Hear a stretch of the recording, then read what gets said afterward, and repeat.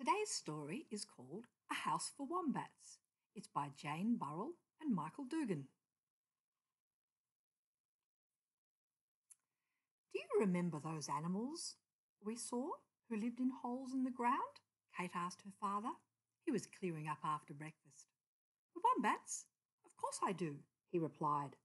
It was only two weeks ago we went to see them.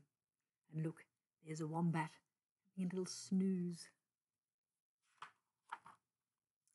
Kate looked out the window of her through the kitchen window to her favourite climbing tree in the corner of the garden. I don't think wombats like living in the ground, she said.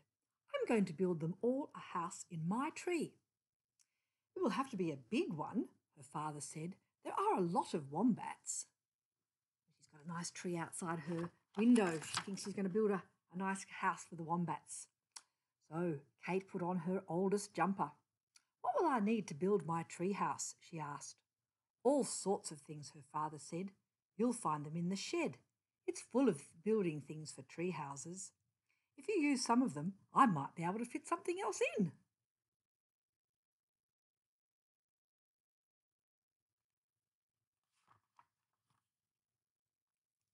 Kate carried several loads of treehouse building equipment from the shed to the foot of her tree. It was tiring work, so she sat down to rest for a while. She wished some of the wombats were there to help her. Look, there's some wombats doing some helping, towing a little trailer, carrying the blocks of timber. There's Kate. She's clearly a bit tired, isn't she? Then Kate started. First, she built a floor between three branches. When she had finished, she stood back to inspect it floor, she said to herself. The wombats won't be able to fall through it. Now I'll build a roof to keep them dry.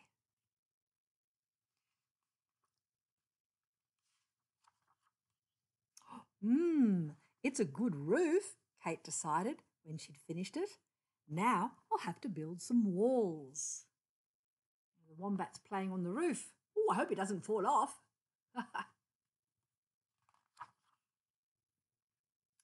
The walls took longer, and it was some time before Kate could climb down to look at them. They're good walls, she thought, but they need a window so the wombats can see.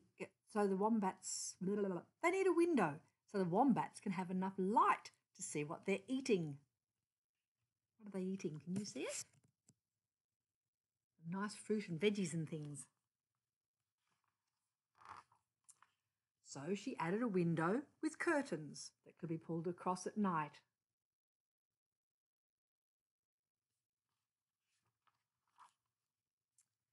Now I need a chimney, Kate thought. If there isn't a chimney, the wombats won't be able to sit in front of the fire on cold winter nights. She climbed all the way up to the roof and built a chimney. Then she climbed down again to see what it looked like. Those wombats look very comfortable there, don't they? Snuggled up on the couch in front of the fireplace. I'll have to put in a staircase, Kate said to herself. Wombats probably aren't as good at climbing as I am, but they're not as good at climbing as you are either.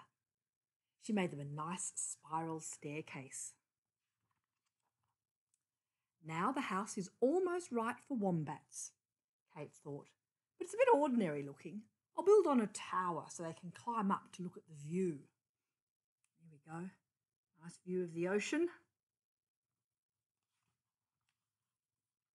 When the tower was finished, Kate looked at the house again. This time it looked just right. She ran over to the back door. Come and look at my house for the wombats, Dad, she called. Look at all the wombats arriving to live in their beautiful new house. Her father came out into the garden.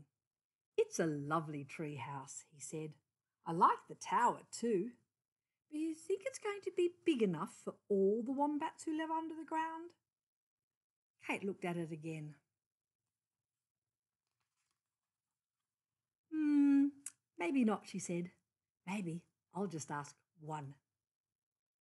There's one wombat up in the tree house. He's looking very comfortable there, isn't he? Got a cup of tea. Looks like the, the chimney's there for winter. That's the end of the book.